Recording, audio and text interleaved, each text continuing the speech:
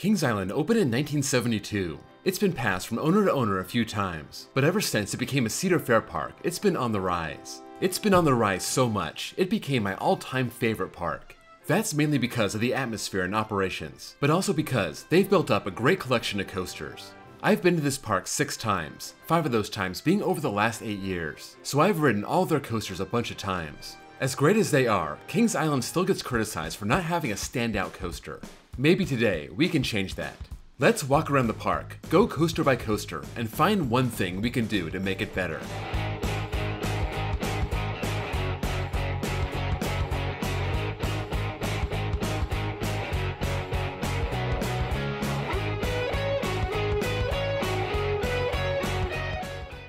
Some coasters have easy fixes, some are more challenging, and some are downright ridiculous. So I'm giving each one a possibility grade. We'll go from easy, it can be done today with no effort, to medium, it would take some effort and money, to hard, would take a pretty significant effort, to fantasy, things that are just not realistic. Let's enter the park and take a ride into Planet Snoopy. The first coaster we run into is Great Pumpkin Coaster, the E&F Miler from 1992. A very basic oval kids coaster, and the perfect ride for kids to break into the coaster world. In fact, this was my daughter's first coaster of the summer, her second coaster overall, and there is one thing I would love to change. Get rid of that jolt at the top of the lift hill. Some of the kids riding this are two years old and they have very floppy necks, and it would be amazing if they could come off without getting whiplash. I don't know what it's going to take to fix this. It does seem to be an issue on a lot of kids coasters, but not major coasters. Whatever you do for the big ones, do for the small ones. On the possibility scale, I'm putting this as a medium. Not a major effort, but something that can't be done right now.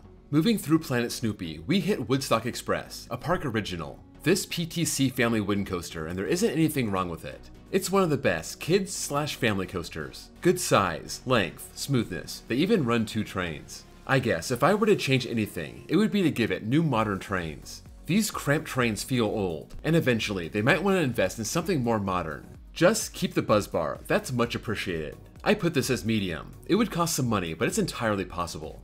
Walking to the back of Planet Snoopy, here's the newest coaster at Kings Island, Snoopy Soapbox Racers. This Vekoma family boomerang is super smooth. It's very tall for a family coaster at 75 and a half feet. It's got some intensity. It has bad capacity, but there's nothing you can do about it. The only thing is, it's 672 feet long. There's not much track, and you can feel it's a short ride. I would give it a couple more twists and turns, maybe a nice airtime hill. Just extend the layout a little bit. It's basically a figure eight layout. There's not much room here, but they could find a way. I put this in the fantasy camp. There's no way they're changing that layout. One more coaster in Planet Snoopy, Woodstock Air Rail. This Vekoma hang and bang used to be called Flying Ace Aerial Chase. This year, it got its new name, but it doesn't matter what you call it. It's still a hang and bang.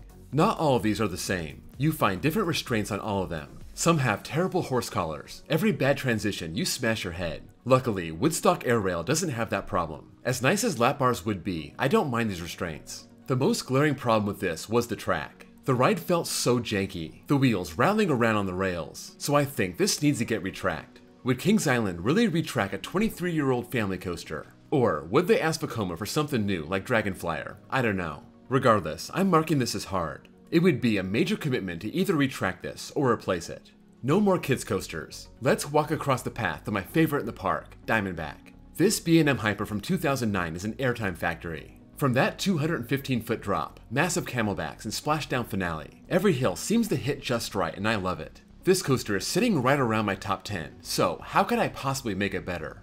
The one problem I have is the rattle. This does seem to be getting worse. Before, it seems like it was bad on the hill after the turnaround. Now, it seems like it has a rattle on a bunch of the valleys. I heard the land that Kings Island sits on is kinda soft, and it makes their big coasters feel rough.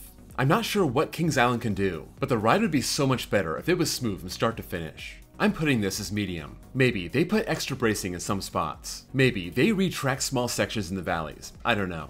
Right next door, we have another great coaster, Mystic Timbers. This is GCI's finest American coaster. Even after 7 years, it's glossy smooth. It has an out of control feeling, it gives awesome airtime. It could afford to be longer, but I don't think length is a big problem. If I were to change one thing, it would be that shed. The whole marketing campaign about what's in the shed turned out to be a big letdown. But what if it wasn't? The most obvious thing to do here is give it a drop track. It could drop you and bring you back up. Even better would be a randomized finish, kind of like Primordial at Lagoon. This may be tougher logistically, having a drop track or a tilt track forward or backward, but if they could find a way, that would be perfect. But that would be a fantasy. I'll stick with the drop track and I'll put that in the medium camp. It wouldn't be that insane to make the brake run a drop track.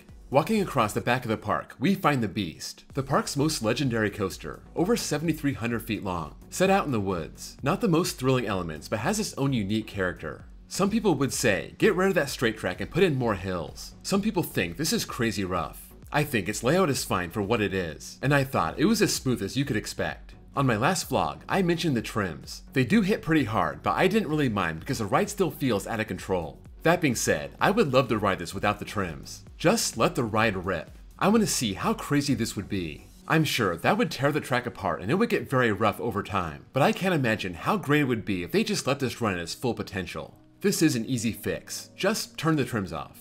Maintenance wise, not so easy, but we're not worried about that right now. Let's walk to the center of the park and Backlot Stunt Coaster, the premier rides launch coaster from 2005. This is somewhat a family coaster, less than 2,000 feet of track, has a launch but it's only 40 miles an hour, and it relies on theming to make the ride. It was added by Paramount, themed to the Italian Job movie, and now it has a generic stunt driver theme. I think the best thing to improve the ride is to improve the theme. The easy fix would be to reactivate everything in the show section. Get the helicopter working, make the explosion more consistent. I don't think this is really a problem at Kings Island, but the other parks that have this coaster, sometimes you roll right through this section. After the helix, you also drop into some loose freeway theming. I think they could enclose this section and make it more immersive, almost like you're speeding at night. Give it a rock and roller coaster vibe. I put this as medium difficulty. It wouldn't require any retracking, just a show building and some new effects.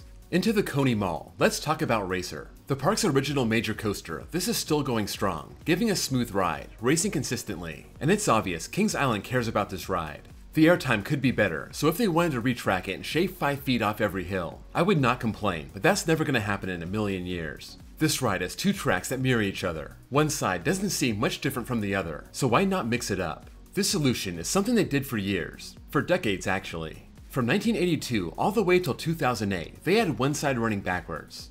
I think once Cedar Fair took over, they wanted to give it a more classic feel, racing red versus blue. Less gimmicky with forward versus backward. But right now, I ride one side and don't feel compelled to ride the other side. If they were to have one side forward and one side backward, I would definitely ride both sides every time. I think this is an easy fix. Just turn one train backward like they used to. Let's go into Area 72 and the park's B&M Giga, Orion. This takes a lot of heat, not just for being not the full 300 feet tall, but also for its layout. It's 5,321 feet long, kinda short for a Giga, at the speed these travel, it doesn't take long to cover all that track. I think it could be longer, but that's not the main issue. I think the whole thing needs a redesign. Giga coasters thrive when they have lower the ground elements that showcase speed. Orion misses that mark. That first wave turn hill doesn't do anything. Either make this a camelback or do something lower the ground. Instead of that drawn out helix some people call Orion's belt, extend the track, emulate Fury 325 as it darts out to the treble clef. Those snappy low turns are awesome, this would add more gray elements and make the ride longer. They had room to do it, they just didn't do it. I loved this ride at first, but the more I ride it, the more I think B&M missed the mark. And I definitely think Fury spoiled us by showing what a B&M Giga could be. This is a fantasy. There's no way they retrack this coaster. Staying in Area 72, we have Flight of Fear, the premier ride's indoor launch looper. This is very well themed on the outside. From the government hangar, the spaceship inside the queue, the aliens in the station, this is almost Disney level theming from the time you approach the ride, all the way until you launch out the station. However, once you enter the main ride building, it's just pitch black. If they wanted to carry on the great theme from start to finish, they should add some on-ride visual effects. You think of Space Mountain. The whole ride, you can tell you're racing through space. Something like that would be awesome aside from just darkness. This would be a medium change. Definitely would take time and money, but nothing ridiculous. Heading out of Area 72 in the Coney Mall, let's ride Adventure Express, the Arrow Mine Train. This sits on a perch and dives down a hill, having a mid-course lift hill, then using all that speed to get back down the hill, giving a nice long ride. This does have some random jolts, but it's an Arrow Mine Train. It's gonna punch you in the kidneys a few times, it's just what it does. This ride is famous for its finale, that enclosed lift hill with all those stone drummers, building up anticipation, all to dump you back off in the station. If they wanted to make this ride better, they should extend that lift, carry on its theming, and give it one more swooping drop. If you kept that drop enclosed, you could even keep the drummers. Maybe they shoot arrows at you while you zip by. Not literally, but that's what it would seem like. It wouldn't have to be a big extension, just enough to provide one more thrill before the station. Still, this is fantasy. There's no way they extend this Arrow mine train. It's amazing enough they gave it a facelift last year. A whole new section is too much to ask for. Let's finish in Action Zone, starting with Banshee, the monster B&M invert. This is still the world's longest inverted coaster, and one of the newest dating back to 2014. It has an awesome drop, a great sequence of elements, good variety, giving some great intensity and hang time. It looks great. It's just a very complete ride. It does have vest restraints, and even though these do suck on dive coasters, I don't mind them on Banshee. My fix would be the same as for Diamondback, just smooth it out. This might suffer the same problem when it comes to the ground being too soft, but this has a weird rattle if you sit near the back. I thought it was nice and smooth in the front, but as I moved back to the middle, I could definitely feel it. It doesn't seem like new track is the problem. Maybe just more supports or better bracing. Maybe it's not possible at all, but I think the effort itself would put this in the medium camp. It's not that bad, but getting rid of that rattle would be the best thing to improve the ride. Wandering off to the middle of nowhere, let's go to the Bat, the Arrow Suspended Coaster, a near clone of Vortex at Canada's Wonderland. That was the original, that was modeled after it, and this plays much higher off the ground. This ride is fast and furious, one of the best suspended coasters out there, if not the best, but it's very, very short. It hits that brake run with a head of steam, so why not extend the layout? It has plenty of speed, it has plenty of height, it seems like they could have gone out one more time, staying low to the ground, and I don't think you would even need a lift hill to get back to the station. If they did this, it would be by far the best suspended coaster, but this is a fantasy. This is over 30 years old, and they would need Vekoma or S&S to Frankenstein extra track onto this thing. Last coaster, and one that seems like it may have one foot out the door. Let's talk Invertigo. This inverted boomerang is actually pretty rare. This is the only one in America, so on its own it's pretty good. I think the coaster is very intense and I actually like it. There isn't much they can do to improve it, but I thought of something awesome. Keep that face-off seating, but make the car spin. Give it a nice, steady controlled spin from start to finish, and that would be one of the most disorienting rides ever. Some might call this a fantasy, but I don't think it's impossible. I'll put this as hard. Nothing like this currently exists, but it doesn't seem far-fetched. If Invertigo has a future at Kings Island, I hope they do this one day. I'd be excited to ride it. So there you go. I just improved all 15 coasters at Kings Island. You're welcome. Let me know what you think about my solutions, what you would do different for any of these rides, and if you have anything else to add, sound off in the comments below. If you enjoyed this video, please drop a like, and if you're new here and love coasters, please give me a sub. If you want to see more episodes in this series, I have a playlist, that link's down below. And if you're a big fan of Kings Island, check out my full-length documentary. I'll put that as a card on my end screen. Thank you all for watching, and I'll see you all next time.